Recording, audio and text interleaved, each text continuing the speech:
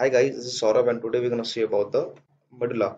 So medulla is a part of brain stem and uh, brain stem is made by three structure. The first one is the medulla, the second one is the pons and the third one is the midbrain. So in this lecture we're going to see the medulla only. So before starting, subscribe my channel for the simplified and the easy lecture of the MBBS. So before starting the external feature, you get to know that the external feature, for example, here we have the cuneate tubercle. So tubercle is elevation. So why this elevation is caused? This elevation is caused because there is a cuneate nuclei which is lying all along the medulla. So this cuneate nuclei we will discuss in the internal structure but the elevation because of the cuneate nucleate but the elevation because of the cuneate nucleus we will see in the internal section. So the first structure is the pyramid. That is here. So this pyramid contains the tract from the cortex of the cerebrum that is the corticospinal tract. So the corticospinal tract is the content of the spinal cord. So if you haven't seen that spinal cord video go and see that video. You'll get um, much concept. So this pyramid contain the tract that is coming from the cortex and that is going to the spinal cord. So this tract is also called as the pyramidal tract. Okay so just posterior to the pyramid see this is the anterior side and this is the posterior side so just posterior to the pyramid, on the lateral side, we have an elevation. This is called as the olive. Okay, so this olive elevation is due to the olivary nucleus. So you'll see the olivary nucleus in the internal section. Just posterior to that, you have an another elevation that is called as the that is the tuber cinereum so this tuber cinereum is the elevation of the spinal nucleus of the trigeminal nerve. So guys I'll tell you one more thing. The trigeminal nerve contain the nucleus from the medulla to the midbrain so the nucleus for the trigeminal nerve is present all along from the medulla to the midbrain. So the next external feature is guys this is your cuneate tubercle. This is your cuneate tubercle. This cuneate tubercle is due to the cuneate nucleus and the last tubercle is the here you have the gracile tubercle so this gracile tubercle is due to the gracile nucleus. So this is a view from the lateral side of the brainstem. So the next external feature is the cranial nerves that originates from the medulla. So the first cranial nerve that originates from the medulla is the ninth cranial nerve that is the glosso pharyngeal nerve. So so guys as you can see at this point you have the ninth cranial nerve coming from medulla. The next is the 10th cranial nerve that is the vagus nerve.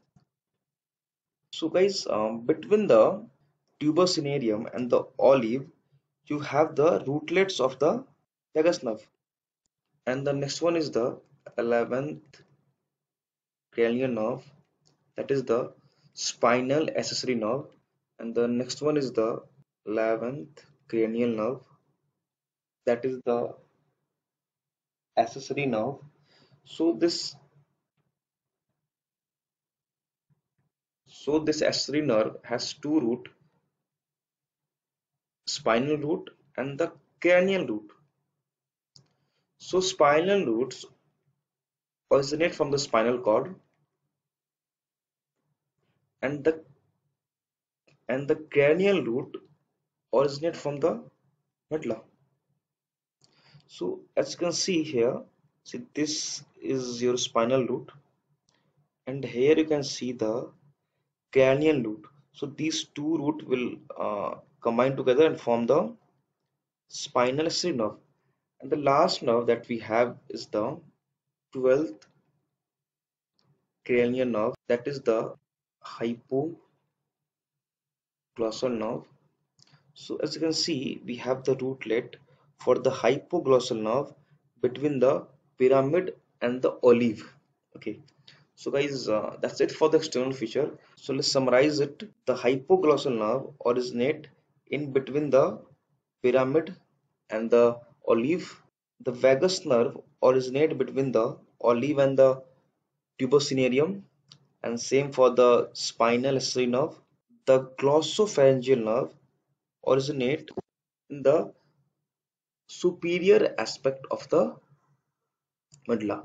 So let's go to the internal section. We will see all the external feature in the internal section. So before starting the internal feature we will see the cross section of the medulla at three places. Suppose this is a medulla. So the lowest portion of the medulla has the decussation for the pyramidal tract. So we will see the first section at the pyramidal decussation or it is also called as the motor decussation the next level that we will see is for the sensory decussation sensory decussation uh, this decussation is occurred due to the dorsal column tract of the spinal cord. And at the end you will see the cross section at the level of the olives. Okay this is a cross section at the pyramidal decussation level. So guys you can find that the cross section at this level is similar to the spinal cord. Yes it is similar because as we go up the structure will change uniformly. So let's see what has changed is. So here as you can see we have the nucleus gracilis. And here we have the nucleus cuneatus actually guys these nucleus start getting formed okay? At the lower level these nucleus start getting formed and when you will see the cross section at the sensory decussation these nucleus will be completely formed. The next thing that we can see here is the spinal nucleus of the trigeminal nerve. This is the spinal nucleus of the cn5 that is nerve 5 and just posterior to that you have the tract for the spinal nucleus of nerve 5 so what will happen? These nerve will go like this. You will have the cell body here. It will go like this. And it will ascend up in the upper level of the medulla so guys i'll tell you one more thing that this spinal nucleus of the trigeminal nerve is the continuation of the substantia gelatinosa. So because of that the continuation from the spinal cord gray matter be called as the spinal nucleus of the trigeminal nerve. I think i believe i have uh, i didn't read anywhere uh, but i believe that because of the continuation of the uh, nucleus from the spinal cord. That's why it is called as the spinal nucleus of the trigeminal nerve in spite of being present in the medulla. Okay. So the next thing that we can see is the lateral corticospinal tract. Okay. And you can see that the fibers from the corticospinal tract is decussating is going away guys remember that the fibers from the anterior this anterior corticospinal tract doesn't decussate at this level. So note that. I had said all this thing in the spinal cord also but uh, note this point that anterior corticospinal tract doesn't decussate in the medulla. Only lateral corticospinal tract decussate in the medulla. And we have can you see here? This is the posterior and this is the anterior spinocerebellar tract. These are the spinocerebellar tract. Sorry for the bad writing. And you can even see the lateral spinothalamic tract. Okay and you will have an anterior also. So the cross section at the pyramidal decussation is almost similar to the spinal cord cross section so next we're gonna see the cross section at the sensory decussation. So guys sensory decussation means the decussation of the dorsal white column of the spinal cord. That is the fasciculus gracilis and the fasciculus cuneatus so guys what's gonna happen? As you can see as we go up the nucleus gracilis and the nucleus cuneatus is formed completely.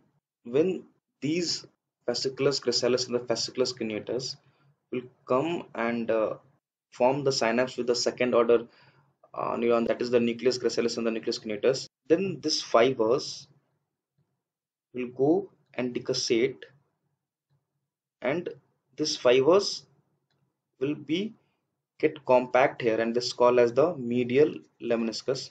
So between these two things between the nucleus gracilis and the nucleus cuneatus and the medial lemnisci this fiber is called as the internal arcuate fibers. So the next thing that we have to see is same as at the level of the pyramidal decussation that is the nucleus for the trigeminal nerve and the tract of the trigeminal nerve.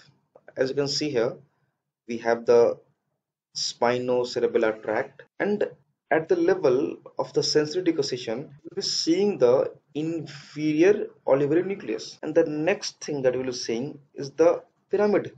So guys these fibers coming from the cortex will come in the pyramid and will go down and decussate in the pyramidal decussation okay the next thing that i want to explain is the accessory cuneate nucleus. So in the spinal cord, I said that the fibers of the dorsal column also carries the proprioception.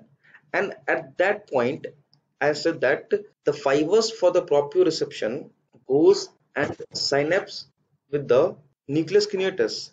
So that nucleus cuneatus in actual was the accessory nucleus cuneatus. So the next content that we're gonna see is the central gray matter so guys all the nucleus that we have seen was the gray matter the next content is the central gray matter so the first central gray matter is the nucleus tractus solitarius. The second gray matter is the dorsal vagus nucleus. And the third gray matter in the central gray matter is the nucleus for the hypoglossal nerve. So in the next section we're going to explain the nerves that is originating from the medulla. Okay in this cross section you can notice that. So guys as you can see this is your nucleus ambiguus this is your dorsal nucleus of the vagus nerve and this is your nucleus tractus solitarius and this is your spinal nucleus of the trigeminal nerve. So all these four nucleus gonna form the vagus nerve.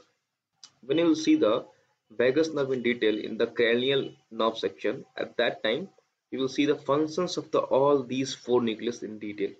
So the next thing that we have to see is the nucleus of the hypoglossal nerve. This nucleus will give the hypoglossal nerve. Now can you see uh, this is the medial lemnisci okay. So this is your olivary nucleus. This is the bag shaped nucleus. This is your vestibular nucleus. Vestibular nucleus will be more prominent in the pons. So this is same as the rest part of the medulla that is the spinal nucleus of the trigeminal nerve and tract. And the new thing and the important thing is this is the inferior cerebellar peduncle. So this inferior cerebellar peduncle forms the connection with the cerebellum.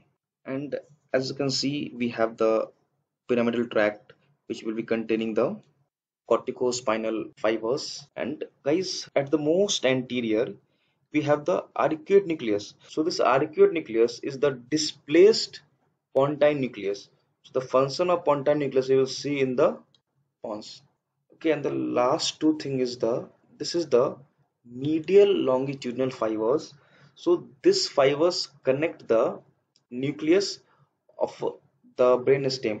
this fiber you will find in uh, this fiber you will find almost in all the part of the brain stem. so this fibers connect the cranial nerve 3 6 4 and 8 and the last thing that is the spinotectal tract. This is the spinotectal tract. So guys that's it for the medulla. I hope you like this video. And if you did then don't forget to subscribe my channel. Share this video to your friends. Saurabh signing out